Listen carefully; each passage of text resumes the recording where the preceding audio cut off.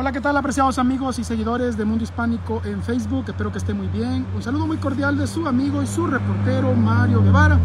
Aquí como siempre dándoles noticias e información de mucho interés para toda nuestra comunidad. Eh, bueno, ya que comenzaron a conectarse, quiero comentarles un poco sobre mi crónica de este día. Eh, tiene que ver con la historia de una mujer, una mujer desalmada, una mujer mentirosa, una, una vil, literalmente, una vil farsante.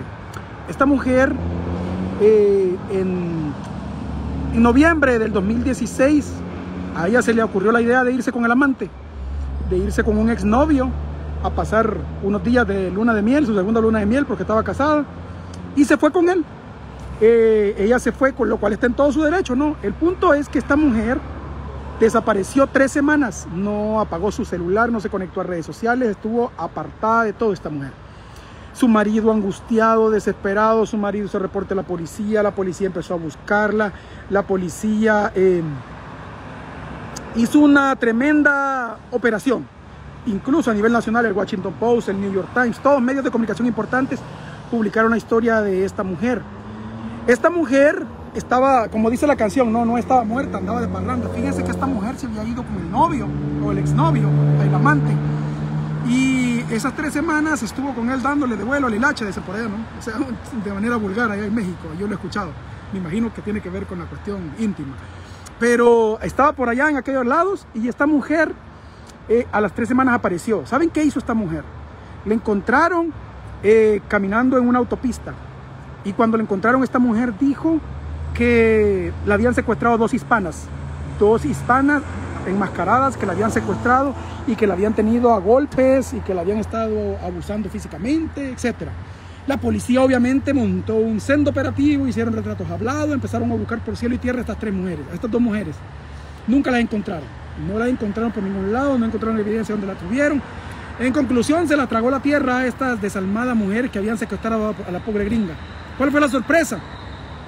Acaba de salir a la luz cinco años después, salió a la luz de que en realidad esta mujer no estuvo secuestrada, sino que anduvo con el amante tres semanas con el amante y, le, y se inventó ese gran cuento porque no tuvo valor de dar la cara, ¿no? No tuvo valor de decirle eso a su marido. Ella estuvo eh, básicamente, eh, el marido bajó de peso 90 libras a, raíz de esa situación tan tensa que vivió.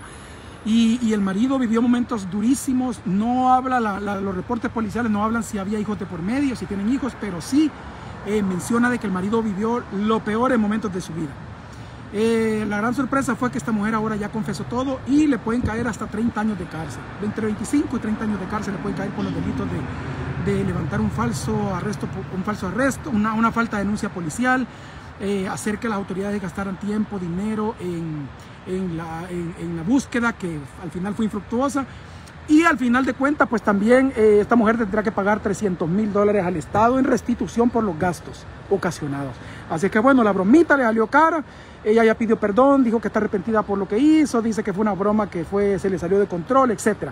Así es que bueno, para la próxima vez que alguien quiera inventar que un, par de hispanos o, o alguien le hizo daño, pues piénsela bien porque las consecuencias pueden ser terribles. Así que bueno, mi gente, esta es mi crónica de hoy. Compártala en Mundo Hispánico. Eh, aquí está la foto de esta mujer, todos los detalles. Por cierto, hay una alerta de, tiroteo. Dicen que en una escuela en Kroski High School aquí en Brookhaven, pero no es esa escuela. Simple y sencillamente el tiroteo fue en un vecindario cercano y la policía todavía está investigando. Así que no se ha revelado información, pero cuando esto pasa, las autoridades por seguridad cierran las escuelas y no dejan salir a los menores. Así es que bueno, mi gente, cuídense, Dios me los bendiga. Su amigo, su reportero Mario Guevara, recuerda, lo veo primero aquí, compartan este video.